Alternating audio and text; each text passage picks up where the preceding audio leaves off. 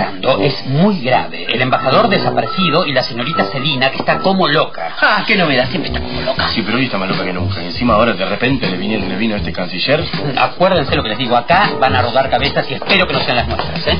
Uy, seguridad, ¿qué le pasa, Quitarita? Las cámaras de seguridad no funcionan. Todos los caminos conducen a lo mismo. El corte de luz fue un atentado. Yo ya lo dije. ¿Qué dijiste vos? Que esto tenía muy mal aspecto. Para vos siempre todo tiene mal aspecto. Lo único que faltaba, pensar que el apagón es culpa de un atentado. Vamos.